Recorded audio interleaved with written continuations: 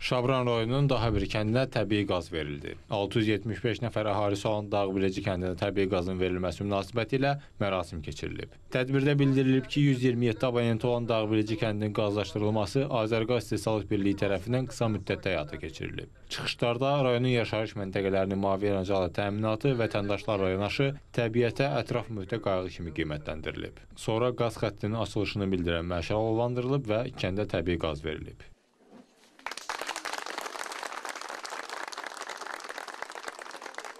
Yaşayış məntəqəsinin mavi yanıcalı təminatı üçün bir pillə sistem əsasında ümumi uzunluğu 7581 metr olan müxtəlif diametrli polad borularla daşıyıcı və məhəllədaxili qaz xəttləri çəkilib. Bununla yanaşı kənddəki bütün abonentlər üçün qaz sayğacı və fərdi tənzimləyici quraşdırılıb. Kəndə təbii qazın verilməsini sakinlər də sevinclə qarşılayıb. Kəndimizdə qaz olmayıb, çoxdandır bunun həsrətindəyik, intizarındayıq. Gözləyirdik ki, bir gündə bizdə qaz olar. Bütün qonşu kəndlərdə qaz çəkilib. Bizə də axır ki, bu bu gün qismət oldu mavi yanacaq veriləcək. Biz bizim bayramımızdır. Sonra ki, odunu əlindən, hissin əlindən qurtarırıq. Oduna xeyli pul vermişik.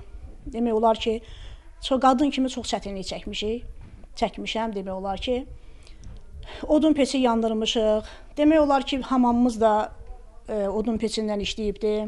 Çətinliklər çox olub. Ümumilikdə bu ilin ötən dövr ərzində rayonun Pirəbədi, Sumaqova, Zöhramı, Pirəmsən və Xəlili kəndlərinə də təbii qazın verilməsi təmin olunub. İlin sonuna kimi Günəşli və Mumlu kəndlərinin qazlaşdırılması yekunlaşdırılacaq.